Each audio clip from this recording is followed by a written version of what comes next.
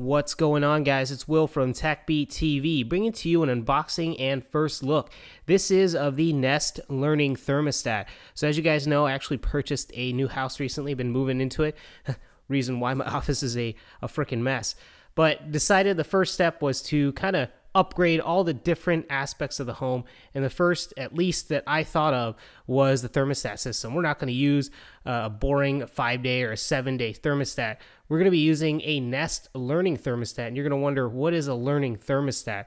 So, what it does is essentially takes in all the different elements, whether it be humidity, your location, because this thing does connect to Wi Fi, which is pretty awesome, and what you input into it over a course of a seven day period and it learns and memorizes all those different slight changes that you like in comfort settings whether it be uh, you like it a little bit cooler in the morning at around 6 6.30 or at night you like it hotter where it's uh, 70 75 depending on what you want this thing learns. Now the quality of construction you can see when you take it right out of the box i mean it's pretty amazing. Has that kind of apple-esque design.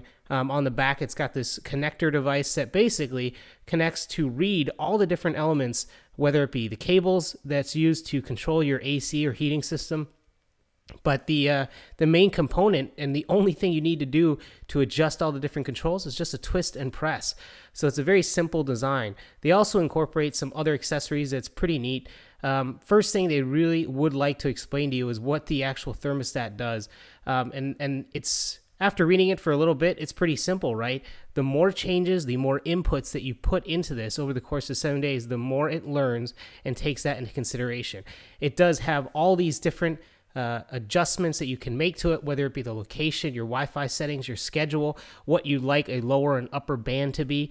It always lets you know also if you're being green. So you get this little green leaf that pops up onto it, depending on whether or not it considers you uh, conserving energy. But the cool part also is since it has Wi Fi connectivity, you're going to be able to change your settings and monitor humidity and temperature from your iPhone or your MacBook or your MacBook Air. It's pretty, pretty awesome. Installation was relatively easy. Um, I'll dive right into it in a little bit later, but they do give you a nice step by step tutorial and they give you these little tags that you can use to tie off all the different cords that are incorporated um, that when you connect to your system so it can control your heating and AC systems uh, pretty easily. I actually decided to install it right away. Um, I actually had to purchase three of these to control because the house has a three zone system. The accessories they give you to install, you're not going to need to go and purchase your own materials or have screwdrivers, nails, all that stuff. It gives you everything you need right in the box. So the first thing they give you obviously is drywall screws. Insulation, you're going to have to remove depending on what thermostat you already have currently.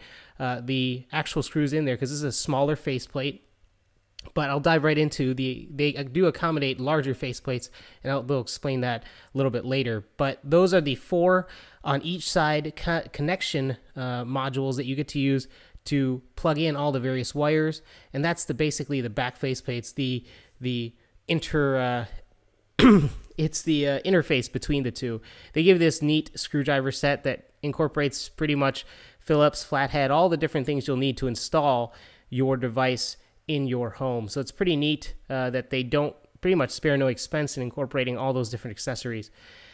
Lastly, they do give you the faceplate system. So what that is is if you have a uh, a larger seven day thermostat or something that make basically uh, took up a lot of space on your wall, and basically you want to repaint, you don't want to have those uh, mar- uh, markings and all those dents in your wall to show up. They give you various face plates that you can use to cover that up. So you got wider, skinnier ones, and then a metal frame, as well as the instructions to let you install the device right to your wall. And I'll show you exactly how it looks like installed on my wall because I actually ended up not using the faceplate at all during the construction.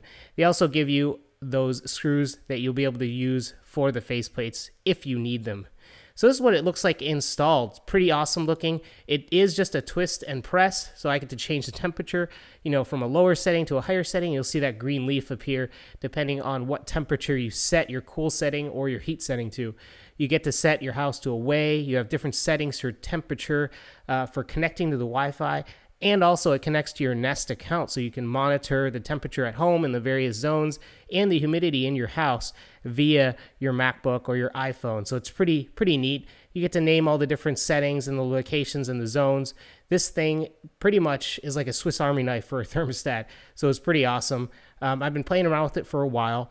It's started to learn all the different settings. I'll have to dive into the review at a later date to let you know what I felt about it. So you'll see all the markings as well. I'll just have to paint that over uh, later on. Taking off the front faceplate, you'll see that back connectivity interface that connects all the various wires. I have those blue tags letting you know what the different connectors are. And it's even got a bubble level to let you know that it's completely centered and level on your wall when you install it.